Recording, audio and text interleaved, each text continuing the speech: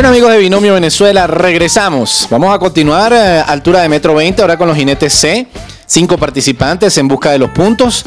La temporada pasada o el circuito anterior, el circuito número uno, ganado por Aranza Fernández del Club Pico Caracas, seguida por Licausi Malavé, donde estaba ahí la más fuerte lucha. Ya tenemos a Juan Guareski del Caracas Country Club y Rockstar. Eran ganadores de la prueba de velocidad. Poco a poco, Juan, que por cierto fue el campeón la temporada pasada como jinete debutante, ha venido tomando puntos importantes y colándose como protagonista. Él buscaba clasificarse al desempate. Esta es la prueba factor 2, metro 20, recuerden, para ellos.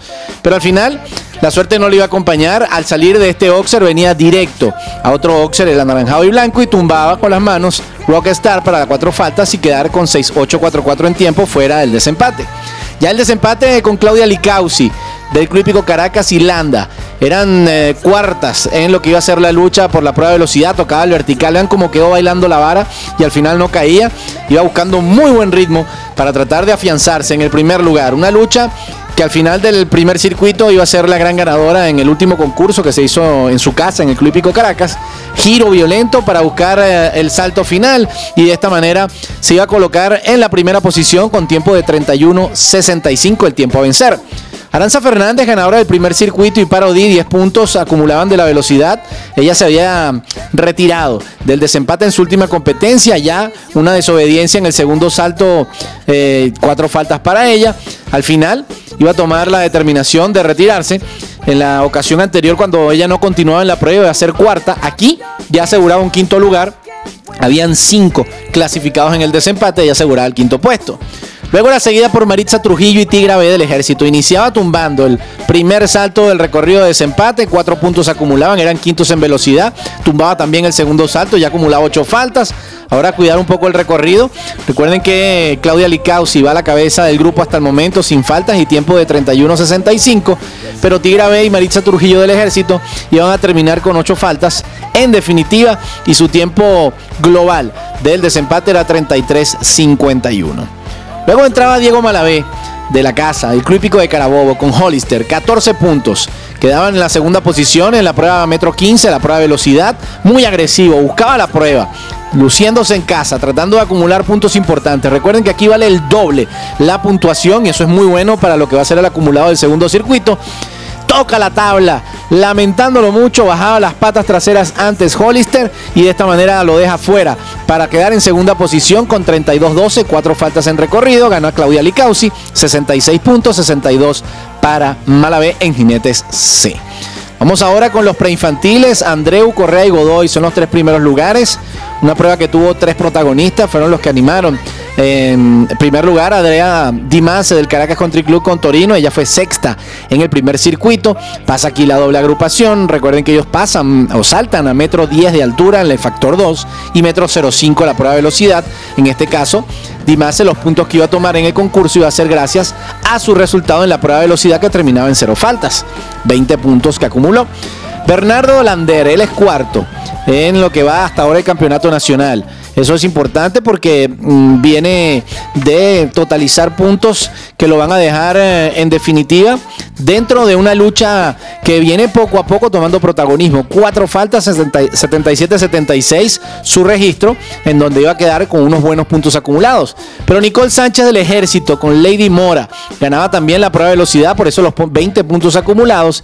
Y en definitiva iba también a arrasar, porque iba a ser la única en el desempate. Vean cómo viene sin estribos. La joven eh, del Ejército ya recupera el pie derecho y en definitiva va a tomar 80 puntos, siendo la ganadora 4-3-3 su tiempo en lo que respecta a preinfantiles, 58 para Lander y 20 para Dimase. Vamos a completar esta parte del programa con la categoría adultos. Gana Cristóbal Lander el primer circuito, el Masri, Trujillo, Calcaño, Delgado, Malavé y Francius. Pero en Valencia va a haber una protagonista. Ya la tenemos en pantalla. Tatiana de Armas.